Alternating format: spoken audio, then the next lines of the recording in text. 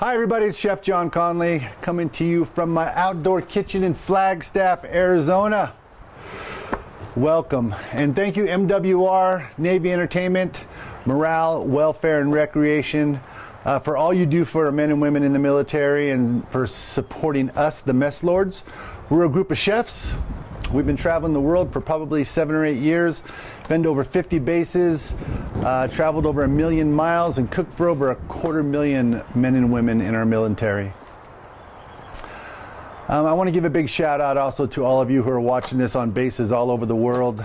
Um, it has truly been a privilege to come to you, whether it's in Djibouti, Africa, Okinawa, Sasebo, um, Spain, Italy, Germany, France. I mean, uh, they've taken us all over the world, and I've had a chance to get my boots in the ground uh, in some pretty cool places and see firsthand the sacrifice that you make for us. Normally, we'd come on tour, but we are quarantined. Quarantined. Normally, we'd be on tour and we'd be coming out to your bases. Uh, I've met some of you, um, but we're stuck here. Uh, we are quarantined because of the COVID 19. So, um, so this is what we're doing. I'm cooking in my backyard. I'm going to give you a little instruction. We're going to make some gyoza today. This is quick. This is a very quick recipe, and I think it's very easy. If you're on base and you got to go to the commissary, I have seen these. I use egg roll wrappers. I'm trying to. We're not making fresh dough uh, because I want this to be easy for you. Gyoza is also also made with pork. I'm not going to do that. I'm fat and old, and I have to watch my cholesterol. So we're going to use ground turkey. I'm going to walk you through the whole process. Before you do this though, I have ginger and garlic and I want to show you how to prep the ginger and garlic. Because we're going to blend it all up in here and it's not going to get minced enough. So let me run you through a really quick way that I do ginger. I'm going to cut this into tiles. So I'm going to make it small. And then what I want to do is make a paste with it. And to do that, I need something that's coarse or abrasive. Actually, when I was in Sasebo, I had this knife made for me there. Um, we went in the morning, I picked it out, I designed it, and then he forged it for me. And it says Johnny Brava in Japanese on it. Um, this is a beautiful knife too because it's light. I like a lightweight knife. So, uh, ginger. This is coarse sea salt. You need something that's going to give it some abrasiveness. So I'm just going to start making a paste. And that salt's going to allow that to happen. It's going to give me something to push up against. You're also going to get all the juice that comes out of there.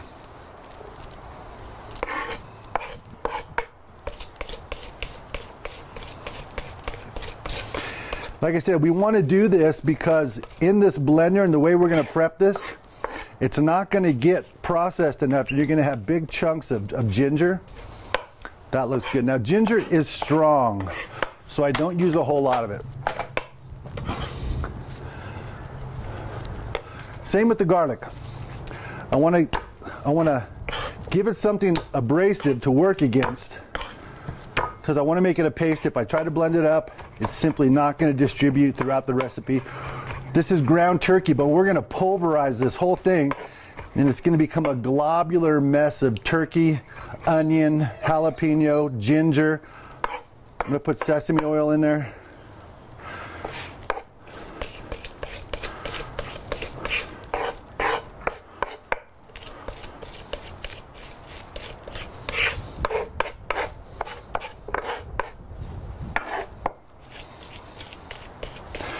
Can see we're just making a garlic paste. It's gonna go in here. All right, so into this, I've got half an onion. I'm gonna put a little bit of a jalapeno in here just because I like some heat. Cabbage. I'm gonna put an egg. That's gonna help bind it. And uh, let's see, I've got sesame. All right, this is soy sauce. This is gonna, just gonna have a, nice salty flavor to it. One of my favorite ingredients, sesame oil. Very strong, so use this sparingly because it can dominate. All right, in goes my turkey.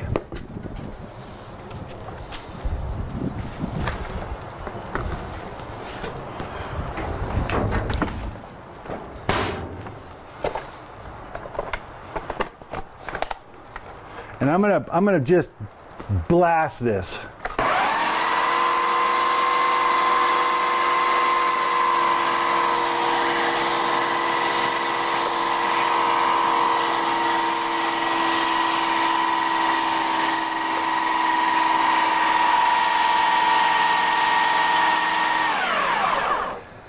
So before I start stuffing my gyoza, my spoon is right here. I'm gonna cook some of this first. I wanna make sure that it is seasoned correctly. This recipe is just a roadmap. Take as many detours you can use. If you do use a ground beef, use a very lean. This turkey is 90% lean. If you do pork, use lean. If you use a lot of cabbage, you can do veggies in this. We've made this with calabacitas, which is zucchini and a corn and a black bean. Um, cook it down, and then I pour off the excess water and I stuff it in the gyoza. The way this is going to go is, if this is seasoned correctly, we're going to take this and we'll put it into our gyoza, and I'll show you very slowly how to make those. We're going to fry it for about 40 seconds, and you're going to see how nice and brown it's going to get. And then I'm gonna steam it with a little chicken stock. I've got chicken stock here. You can just get a box of chicken stock. I prefer it's hot. I wanna keep this hot because I don't wanna take a cold product and put it into a hot pan. So I wanna see how this flavor is.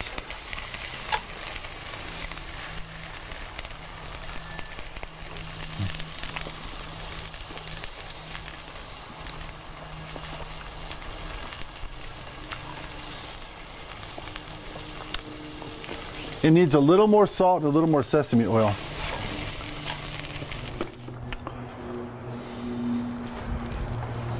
And because no one's looking, I'm going to put the rest of this jalapeno in there because I can.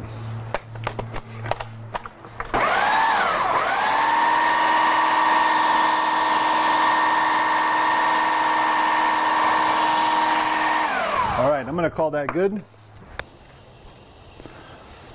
Okay, so you take your skin, put half an ounce in the middle of your skin, wet, just water around one side. The thing is, the side that you wet, you are not going to touch. You're just not going to touch this side.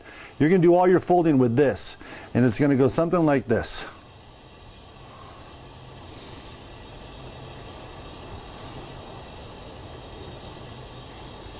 And there you have your little gyoza. I'll do you one more. Half an ounce, right in the middle. Wet one side, over.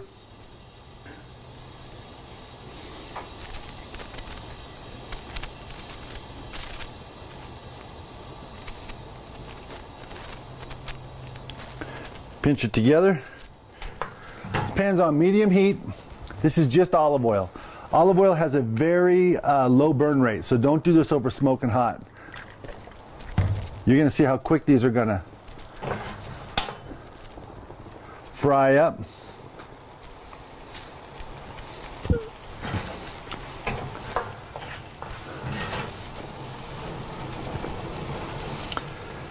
So they steam essentially. You want a tight fitting lid. You want your your chicken stock right next to it with your ladle. I'm gonna make one quick move once these are fried and I'm gonna cap it. And then I'm gonna use, this is a, a three and a half ounce, I'm gonna use two ounces of, of the chicken stock. I'm gonna wait till these fry, then I'm gonna steam them. And you can see these are already starting to steam up beautifully. Fry up. So you can see you want these to get a little bit more brown.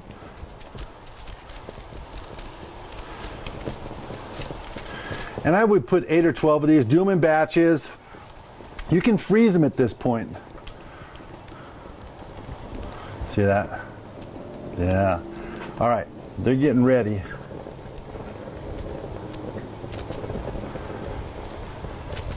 All right, a little bit of one quick motion. Watch your face.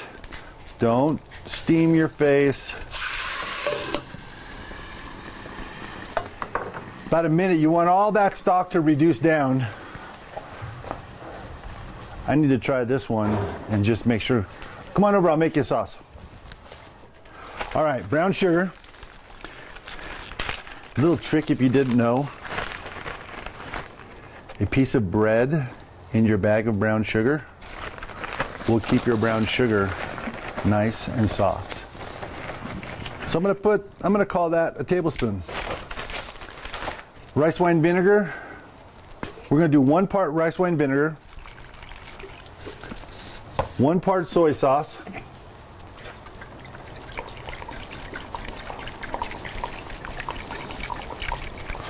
a little bit of soy, a little bit of sesame, and water, about a cup of water. And this is a really classic gyoza dipping sauce. And then because no one's looking, everything's everything's better with chili. No. Yes. A little bit of chili. And a little bit of this chili, because I love this chili. What? You could leave this just the brown sugar and rice wine, soy.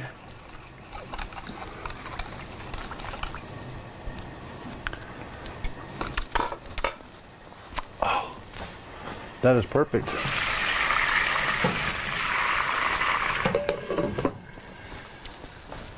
Let me try it. You see how beautiful those are?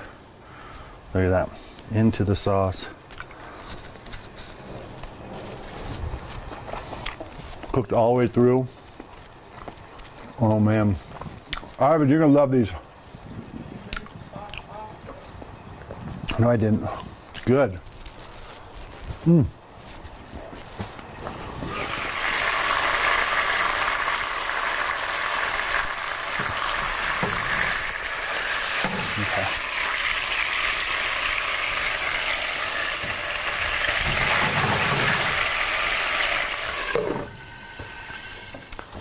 Okay, so you want this to pretty much all cook off. You can see a lot of the steam is off.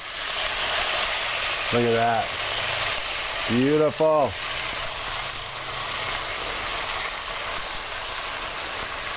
We're gonna let them brown just a little bit more.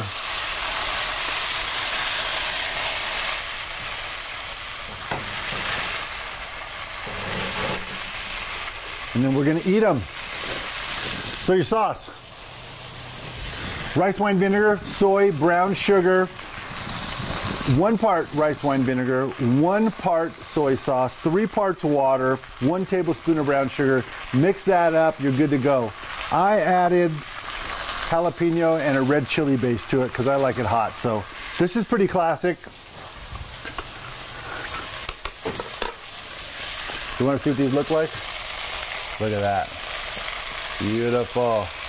That's a gyoza. Come on over. Ooh, that's hot. That's it for our, for our gyozo. Gyozo, gyoza. I like to call them dumplings. Um, again, it's really forgiving. Um, in the commissary, you can get egg roll wrappers and then just find your protein or find your vegetables. The, the, a great thing to do too is learn how to stuff them. Go to YouTube, they'll walk you through it really slow. Um, and enjoy. Uh, so thanks again, MWR, Navy Entertainment, Morale, Welfare, Recreation. Thanks to all of our men and women, our brothers and sisters out there keeping us safe. Uh, I know this is showing all over the world at different bases. I wish I could be there cooking with you.